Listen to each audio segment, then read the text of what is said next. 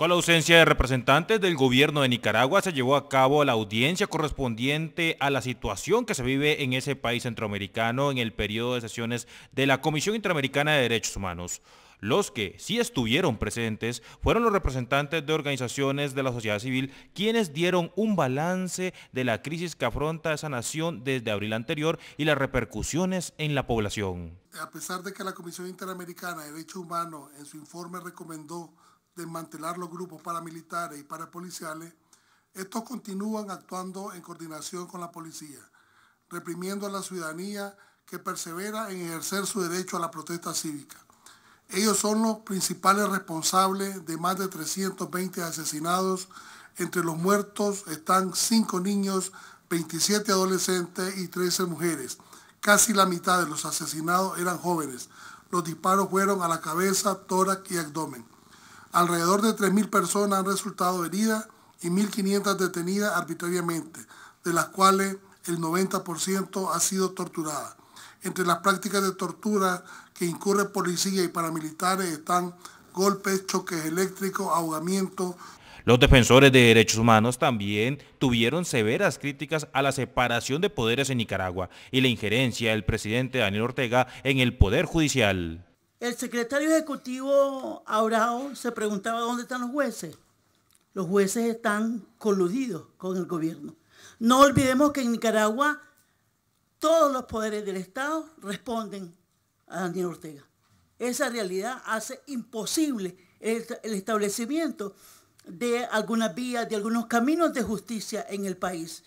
Y luego reconocer que Dentro de la política de Ortega está el desconocimiento de cualquier informe que haya hecho la Comisión Interamericana de Derechos Humanos o que haya hecho la Oficina del Alto Comisionado. Los niegan.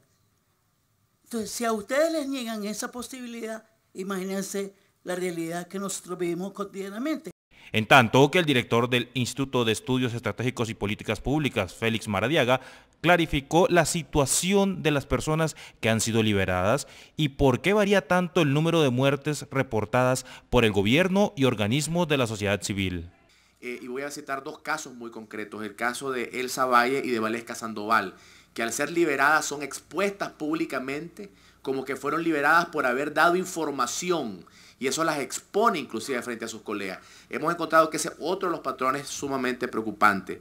Finalmente con el tema de las cifras quisiera nuevamente darles otro dato y es que hemos encontrado que en uno de cada tres personas entrevistadas, familiares que han perdido eh, a personas en las protestas, por lo menos en uno de cada tres casos, en los casos concretos de hospitales públicos, se les quiso forzar a alterar el acta de defunción. ¿Qué nos puede llevar a concluir esto? De que el número de asesinatos puede ser sustancialmente mayor porque muchos familiares han accedido a alterar el acta de defunción para poderse llevar el cuerpo de sus familiares. En la realización del periodo 169 de sesiones de la Comisión Interamericana de Derechos Humanos, los miembros de la sociedad civil también le solicitaron una serie de recomendaciones a esta comisión de la OEA ante el escenario de esta crisis que afronta esta nación centroamericana en esta materia. Las organizaciones aquí presentes solicitamos a esta honorable comisión lo siguiente. Primero, que se continúe pronunciando públicamente sobre la grave situación de vulnerabilidad que se encuentran los periodistas y defensores de derechos humanos en Nicaragua. Dos, urgir al gobierno a cesar de inmediato la represión contra un pueblo desarmado y a que revoque el comunicado policial que pretende servir de fundamento para criminalizar la protesta social. Tres, que demande al Estado cesar el acoso, intimidación, ataque físico y la censura a periodistas y medios de comunicación locales y nacionales. Cuarto, demandar al Estado de Nicaragua la libertad inmediata de todos los presos políticos. Cinco, otorgue oportunamente las medidas cautelares que evidencian el entorno de riesgo en el que se encuentran periodistas y defensores de derechos humanos debido a la alta vulnerabilidad en que se encuentran. Sexto, que la Comisión coordine con el gobierno un protocolo para la implementación efectiva de las medidas cautelares. Siete, que en el próximo informe anual de la Comisión se incluya a Nicaragua en el capítulo cuarto, en el que se aborda la situación de los países del hemisferio con mayores desafíos en materia de derechos humanos.